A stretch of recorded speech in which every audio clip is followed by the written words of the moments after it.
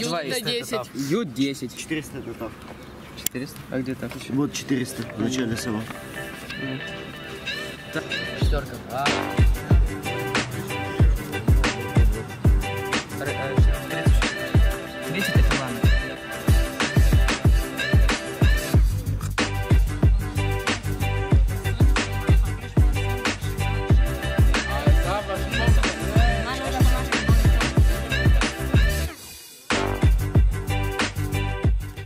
יש תוכנית כזאת בשביל ילדים שגרים בחו"ל, אבל יש להם זכות אה, לעלות, והתוכנית נותנת אה, זכות לעלות לפני ההורים.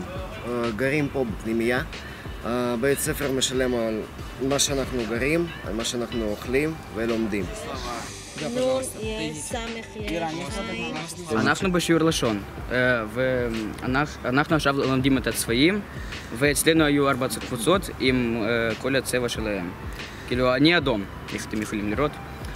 אה, אצל- אז משימה הראשונה הייתה אה, לס- אה, לבנות כמה מילים אה, מאלף- מאותיות א'-ב'. Рейш. Давай. Есть рейш. Да, э, так. В шестерку вав вписывай. עשינו פעילות ללכת לרפת ולשאול אה, איזה, כמה ליטרים אה, חלב אה, חולמים אה, כל יום ברפת וכמה יש פרות ברפת. בממוצע 3,300 ליטר. כל יום. כן, כל יום. זה כמה זמן, או כמה פעמים אתם חולבים ביום? שלוש פעמים. בבוקר, בצהריים, בבוקר, נכון? כן. מה אתם צריכים לעשות?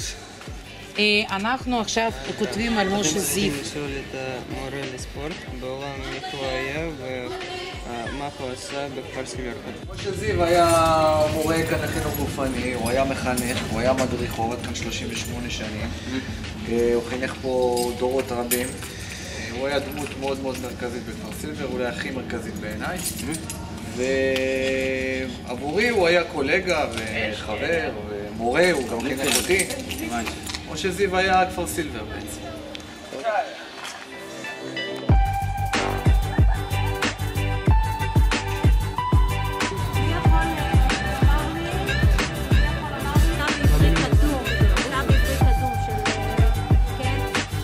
דליה היא מורה ממש טובה, היא איתנו מכיתה ט' ונראה לי שעד כיתה י"ב, אני מקווה.